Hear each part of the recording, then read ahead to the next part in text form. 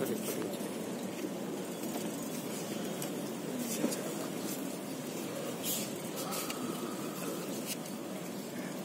respected Prime Minister Shri Narendra Modi ji, Honorable Chief Minister Shri Vijay Rupani ji, ladies and gentlemen, a very good morning to each one of you. I am privileged to have participated, like Gautam Bhai, in all the nine vibrant Gujarat summits.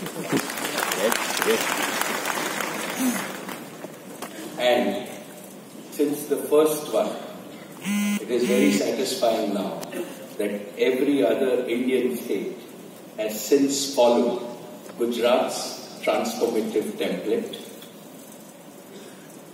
The credit for this pioneering initiative and its subsequent replication must go to only one leader. He is the proud son of Gujarat. He is the visionary leader of India. And he is Sri Narendra Modi, our beloved Prime Minister, under whose leadership India is the fastest growing economic engine.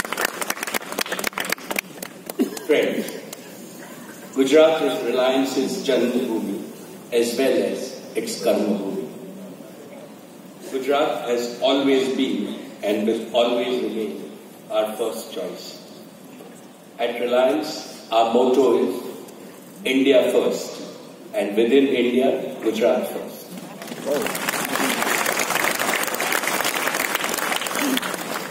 We have so far invested nearly 3 lakh crores in the state of Gujarat and created and catalyzed over 1 million livelihood opportunities in Gujarat.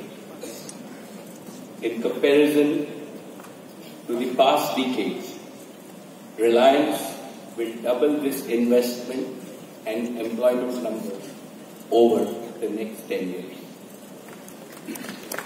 Reliance's new business model will move away from concentrated investments in a few locations to much larger investments in a distributed manner all across Gujarat. As a proud Gujarati myself, I wish to tell my six crore fellow Gujaratis that your dream is my dream. Can we make Gujarat the most prosperous place in the world? Yes, we can, and yes, we will. And how can we do this? By energizing the power of Gujaratis' globally acclaimed enterprise and entrepreneurship, by empowering and creating an enabling ecosystem that will make our Gujarati youth to be the best in the world, and by harnessing the revolutionary power of emerging digital technologies of the fourth industrial revolution. Gujarat will thus act as a model, not just for India, but for the entire world. As again, my friend John Chambers said. Friends, let me now talk about Reliance's five initiatives that align with Gujarat's future development model. Each of these initiatives will contribute significantly to our Prime Minister Shri Narendra Modi's inspiring vision of ease of living for every citizen. First, Jio is committed to create a fully digital Gujarat and make Gujarat the best digitally connected state in India. Today, Gujarat is the showcase for Jio's 4G wireless broadband network. This network already connects the entire state to the global information hub. This means connecting every home and office, every school and college, every hospital and doctor, every mandi and market. And Jio's network is fully 5G ready, which means Gujarat will continue to remain on the forefront of digital connectivity for years to come. And on the back of this world-class and most affordable digital connectivity, we can make our beloved Gujarat the number one in nurturing startups in financial technology, agriculture technology, health technology, and other critical areas that enhance the well-being of every citizen.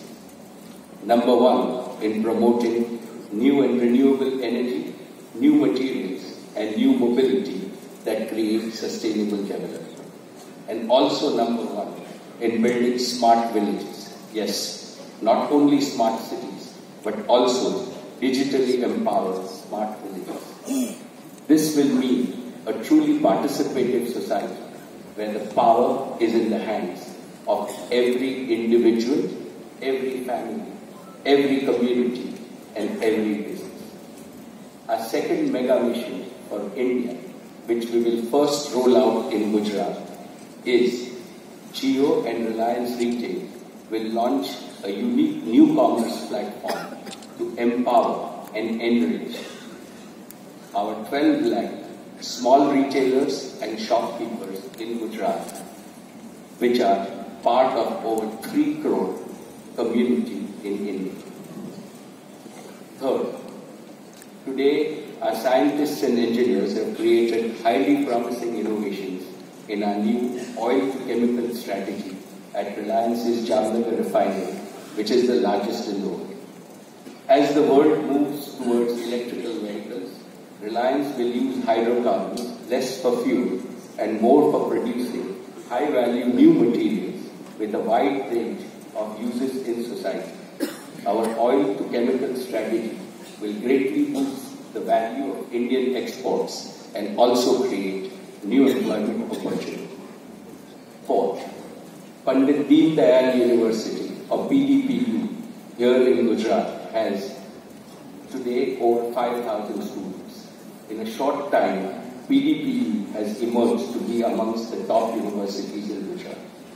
The Reliance Foundation has committed an investment of rupees 150 crores to make PDPU even stronger and an institution of international record. Fifth, I am happy to mention that the Reliance Foundation, which is present in all districts of Gujarat and thousands of villages in other states in India, has demonstrated how India can move away from rural distress to rural progress.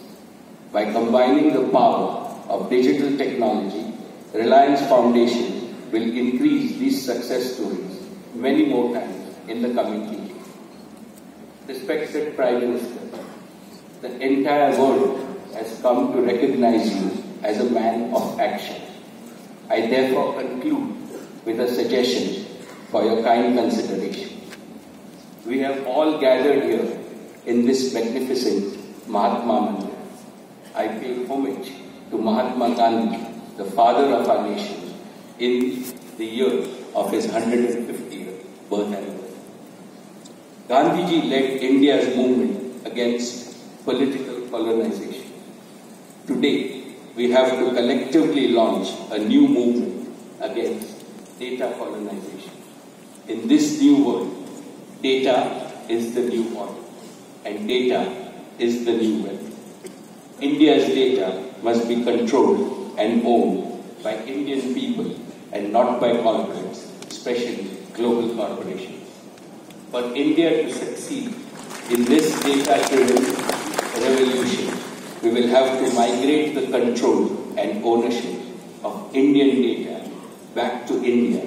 In other words, Indian wealth back to every Indian.